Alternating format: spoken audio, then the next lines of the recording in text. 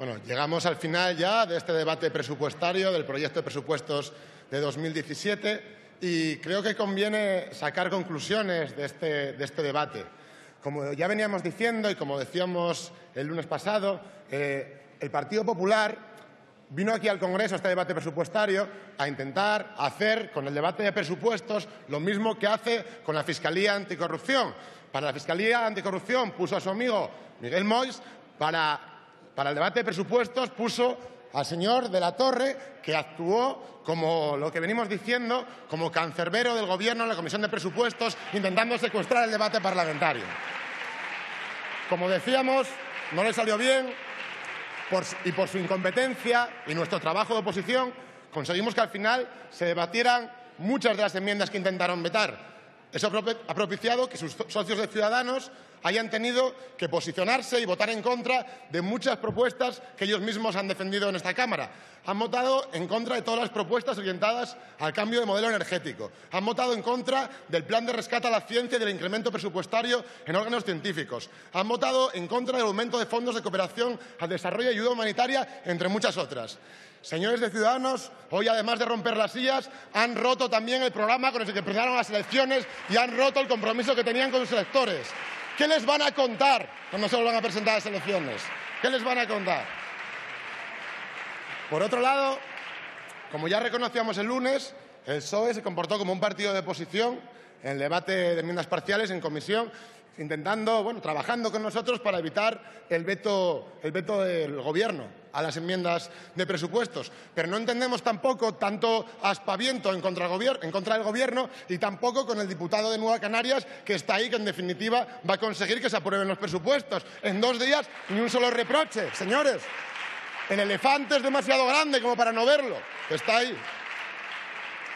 Que, por cierto, el señor Pedro Quevedo de Nueva Canarias va a votar también para sostener estos presupuestos del Gobierno, va a votar en contra de planes integrales de empleo para Canarias, planes de transición energética que hemos presentado en nuestro grupo y, bueno, por lo menos que le pase algo de factura por la infamia que ha venido a cometer aquí.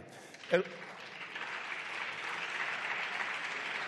el Gobierno y sus socios no paran de acusarnos de que somos un partido que no hace nada más que protestar. Sin embargo, cada vez que hacemos propuestas, 1.600 enmiendas parciales nos las intentan vetar. Primero, las enmiendas de ingresos nos, las vetan, para que no dejen ni siquiera que se debatan. O después las rechazan, aunque entren en contradicción con lo que ellos mismos presentan en sus programas. La pisonadora de enmiendas que ha puesto en marcha el Gobierno y sus socios, que han tumbado más de 5.000 enmiendas de todos los grupos y 1.600 del nuestro, enmiendas que han sido trabajadas, trabajadas a lo ancho y largo del territorio, trabajadas con asociaciones de profesionales, trabajadas con la sociedad civil, trabajadas con sindicatos, con comisiones obreras, con UGT, con ONGs de todo tipo como Intermón, como Save the Children, con asociaciones de técnicos y profesionales de Hacienda como Gesta.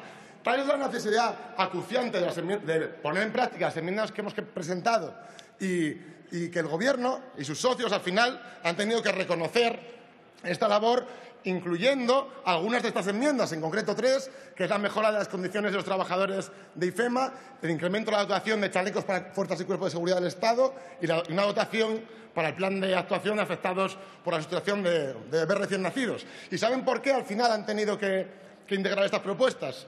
¿Y por qué no las pueden rechazar? Porque nuestras enmiendas, nuestras propuestas, la mayoría vienen de ahí fuera. Nuestras propuestas están trabajadas con la sociedad civil, con las asociaciones de profesionales, como les decía antes, con la gente que está ahí fuera, que en muchos casos, casi siempre, está mucho más avanzada y muy por encima de los, espectáculos y los trabajos parlamentarios que se ven en esta Cámara del Congreso de los Diputados. Eso es lo que hace que... Un momento, señor González. Un momento. Continúe.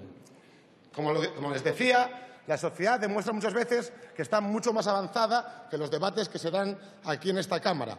Y ese trabajo que hemos hecho con la sociedad civil es lo que hace que, pese a ser el primer proceso presupuestario que nos enfrentemos, hayamos hecho un trabajo mucho más riguroso del que han hecho aquí la mayor parte de grupos parlamentarios. Y por eso quería finalizar esta intervención y este debate de presupuestos agradeciendo a todos los colectivos y asociaciones, a todos los diputados, tanto autonómicos como los diputados del grupo parlamentario que están aquí, también a los letrados y a los servicios técnicos del Congreso, pero también a las agrupaciones municipales y autonómicas de todos nuevos partidos que conforman nuestro grupo parlamentario y, sobre todo, a los técnicos del grupo parlamentario que han hecho un trabajo inconmensurable y le han echado miles de horas para sacar estos presupuestos adelante.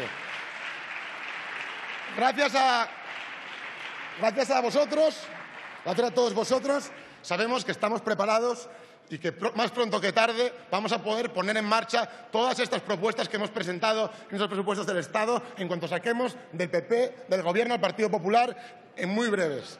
Por lo tanto, agradecer, agradecer todo el trabajo que se ha hecho y, sin más, agradecer también a, a todos, los, todos los diputados de nuestro grupo parlamentario que han hecho un trabajo espectacular. Muchas gracias. Muchas gracias, señor González.